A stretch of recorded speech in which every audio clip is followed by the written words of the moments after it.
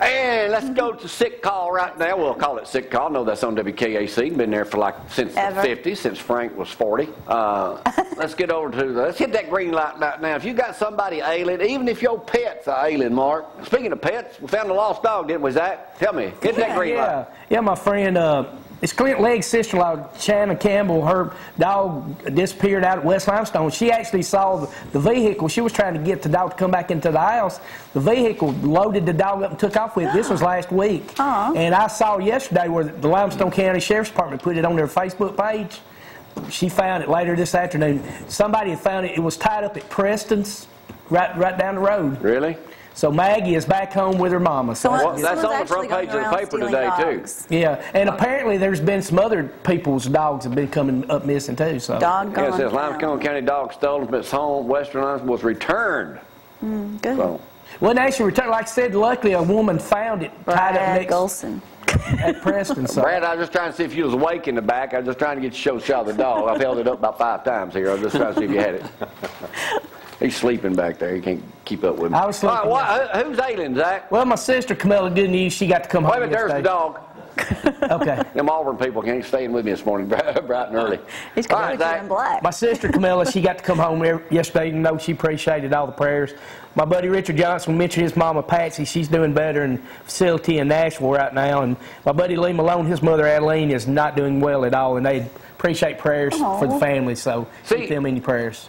Zach, the only people you talk about being sick is your own bunch. Well, nobody's emailed me. Email me at bamazach at gmail.com. And You I want to shout out? I'm let on us know. Facebook at Zach Green, Twitter at Bamazach. Well, why don't you now do nice things like ha- add happy birthdays to that? Or Yeah, you can happy have- Well, I got some friends today that had birthdays. But How many friends and relatives you got, Zach? My buddy Philip Michael, yeah, he had a birthday today. Wes Neighbors, former Alabama center, Yeah. Uh, 97.7 The Zone, his birthday's today. Happy birthday, Wes. Well, let me change subjects right quick. All right. There's an article on Associated Press. We all born and raised in Alabama, right? Except for No, you. Chicago. But you wished you'd been born in Alabama. No, it Yeah, you don't do. matter to me. For the fourth consecutive okay. year, Mark Moody, Alabama ranks among the most miserable states in the nation. I saw. Oh. Based on factors such as access to health care, obesity rates, and work environment. Unhappy. Healthway and Consulting Gallup poll said across the United States, using thousands of interviews, it says that we're one of the last. The top five happiest states, in order, are North Dakota, South Dakota, Nebraska, Minnesota, and Montana. Now, let me ask y'all one question that all five of them have in common. Ain't it cold there? Cold, yes. It's Cold. Ain't it real cold there? Well, maybe In you the have winter, to. yes. Maybe they they snuggle more, so they're happier. I beg to it. differ with whoever did that survey. Me never been here before. That's- What is wrong with this great? Why? Who who took this survey? Said they were miserable. I would be miserable. You know what I got to cold word for y'all? Move. That's right. Hey, I ain't never lived in another state but Alabama, so I love it. I, I hardly ever been out of state Alabama. I lived in Michigan when I was in elementary school. You like it?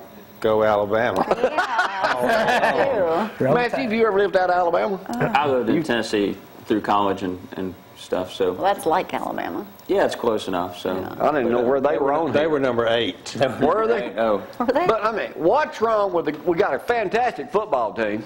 Somebody had put Roll together Tide. a survey. Jamie, you know, we do have a well-kept secret here, Yeah. and the rest of the world really don't need to know about it because they. Well, they might want to buy some houses. might come here. So, Mark, you know, I'm just Oh, trying looking out for your catch- business. Catch Yeah. there. You want to Uh, let me hit Catch Zach again. middle. Let's get some words of wisdom this morning. Let's hit that green light. Then I got something else. We'll go to a break here on our first, our second break of the day. Cooper and Company Live. Let's go to this.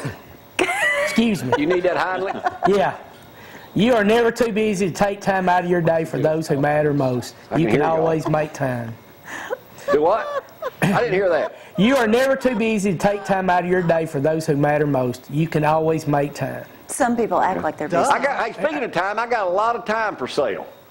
it's kind of like a timeshare. You want to share some of these commercials up here with me? Come on, I got plenty. Okay, back to you, Zach. Remember, sometimes the smallest things in life have the biggest meaning. Really? Duh. Sure do. that it? well, looks like it is, Jamie. I got one more. I got one more. All right. Colossians 3 23, 23 24. Whatever you do, work hard, heartily as for the Lord and not for men, knowing that the Lord you, you will receive the inheritance as your reward. You are serving the Lord Christ. And what is that Son of God movie about? Jesus. Is your name Zach? I think about Jesus. All right, good. It comes out Ding, today. ding, ding, ding. I get All that right, star now. How uh, about that? All right, here's a story I thought, Mark, it was kind of unusual. I've had some weird ones on this week, but I'm trying to be good today. So I got church members going to be in in a little bit. Oh, So I want So to be that at my makes you best good. behavior. So I'm going to get this out of the way that before we social get here. club. Wow. Blind woman sues nudist camp community for banning her overweight service dog. Oh, wow. Okay. Blind woman, 43 year old woman, legally blind, has a guide dog. She's lived at the nudist county, uh, Matthew, you may have heard of it, Paradise Lake Resort No. Sorry, I hadn't heard of that one. in Florida. I'm unfamiliar. She's suing the resort association, claiming she's being harassed because her dog exceeds the community's 25 pound limit. She said the resort knew about her dog size when they approved her application. Nudity, Mark, is an option at the colony. She sometimes gets naked when her children aren't around. Well, I hope so when the children aren't around. Now, looking around this room, ma'am, no offense, but I know the rest of them. Have you ever been to a nudist camp? No. Well, I have. I'm the only one amongst us who's ever gotten naked among strangers. Is that correct? Yes. You, you'll be the only one too. Well, I, I just, is that correct? So I have experience. Depends on how long. uh, Do what? We're not going there. Shh, we can't tell everything. All right. Service, I mean, service dog owner sues nudist. Well, she can't see it anyway. So why is she in there? Yeah. is she there? If you're blind, why are you at a nudist camp? But Frank? If you're blind, why would you live at a nudist camp? She lives there? Camp, blind. Right. There you go. Freeze Frank's even got words of wisdom. the only time I ever saw a nude beach, those people need to go home. They need to cover That's the up. same way it was at the nudist camp I went to.